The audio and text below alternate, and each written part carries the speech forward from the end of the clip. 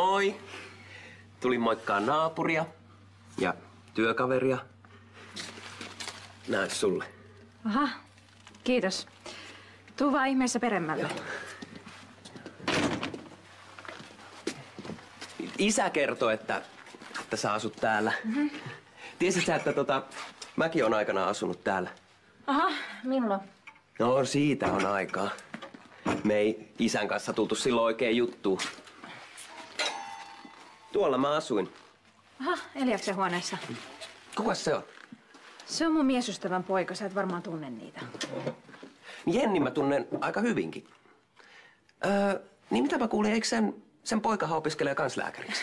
Mitä sä oikein haluat? Jutella. Ja tutustua. Joo, ei kiinnosta.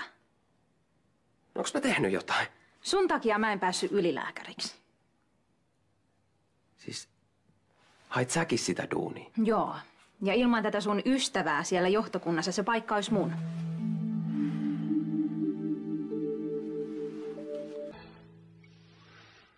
Mä en voisi edes kuvitella vaan soittavani jollekin vanhalle kaverille ja odottavani, että se hommaa mulle töitä. Tää maailma pyörii suhteilla. Vai eikö sulla itelläs mukaan ole niitä? Ehkä mulla on jotain paljon tärkeämpää. Ammattitaitoa. Vihjaat sä, että mä en osaa hommiani. No mistä mä voin sitä tietää? Aine tai sun ammattitaidosta jonkun vanhan tutun sana.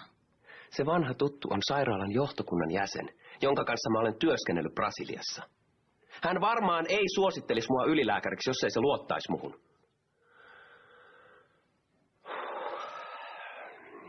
Mä ymmärrän, että sä oot pettynyt. Mutta meidän olisi parempi tulla toimeen. Me kuitenkin pian työskennellään yhdessä. Töissä mä käyttäydyn aina asiallisesti. Mutta mitä kavereit meidän ei varmaan kannata ruveta leikkiin.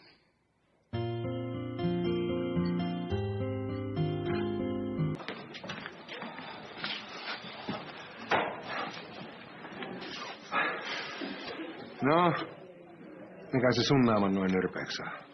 Naapurin kirurgi. Katarina. Se alkoi vahdota, miten mä sain sen ylilääkärin duunin muka pelkillä suhteilla. Vai niin? Sehän on muuten niin mukava. Mä sain ilmeisesti hänestä esiin aivan uusia puolia, kun vein sen duunin. Siis tavoitteliko Katarinakin sitä ylilääkärin paikkaa? Mut silti. Niin vaikea uskotko Niin. Ellei se taas ole alkanut napsia niitä pillereitä. Mitä ihmeen pillereitä?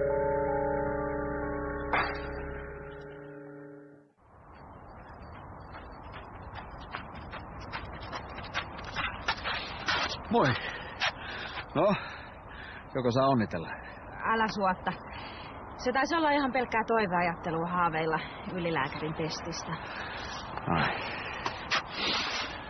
Sun menneisyyskö tulisit kuitenkin esteeksi? En mä tiedä. En mä ehtinyt edes haastattelua, kun ne oli palkannut sen jo toiseen. Harmi juttu. Mä oon varma, että sä olisit ollut loistava siihen duuniin. Mä puolestani jouduin passittaa Serkeen takas kiven sisään. Se rikko taas koevapaussääntöjä. Ai, en mä kuullutkaan. Kuulet varmaan Sebastianilta lisää. Se syytti Helenaakin mun suosimisesta. Se ei vaan tunnu tajuavan, että Serke on itse vastuussa omista teosta. Tekee niin pahaa nähdä, kun te olette noin huonoissa väleissä. Mun tekee pahaa ajatella, että me ollaan edes samaa verta. Me ollaan kuin yö ja päivä. No en mä nyt oikein tiedä.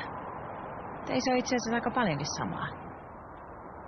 Ehkä se on just se samankaltaisuus, joka teitä hämmentää. Mistä pillereistä sä oikein puhuit? Ei, en mistään. Sä taisit kuulla vaan väärin. Mun täytyy nyt todella mennä tai muuten jää kalsongit pesemättä. Kaija hei, totuus. Nyt. Mä lupasin Katarinalle pitää tämän asian salassa, joten et hiisku tästä kellekään. No sä muistat sen pernaleikkauksen, jonka Katarina teki mulle sen moottorikelkka-onnettomuuden jälkeen. Totta kai. Mä olin jo itse tulossa katsomaan sun. Katarina hoitovirheen takia mut jouduttiin leikkaamaan uudestaan.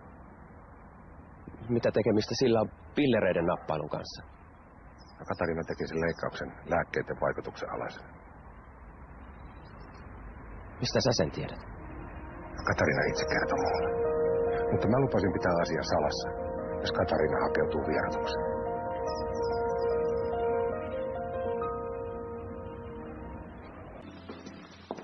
Voi. Hei, voitaisko me jutella? Mä kun luulen, että mun kanta tuli aika selväksi. Mä en haluaisi heti joutua riitoihin naapureiden kanssa. Varsinkaan sellaisen, joka on samalla mun kollega. Mä haluaisin pystyä sataprosenttisesti luottaa mun esimieheen, mutta en mä... Mutta et pysty. Hmm. Siitä oli varmasti hyötyä, että mulla oli tuttu johtokunnassa. Mutta mä olen ammattitaitoinen, enkä aio tuntea syyllisyyttä siitä, miten mut valittiin. Kaikkihan me ollaan tehty omat virheemme, eiks niin? Anteeksi, mitä sä oikein tarkoitat? Sun eteneminen olisi tyssännyt kuin seinää, jos mun isä olisi paljastanut muutaman faktan sun suorittamasta pernan poistosta. Mä en aio kertoa kenellekään, että sä leikkasit lääkkeissä. Sä myönsit ongelma ja hakeuduit hoitoon, jossa riitti isälle, se riittää mulle. Mutta mä toivon, että säkin voisit antaa mulle mahdollisuuden.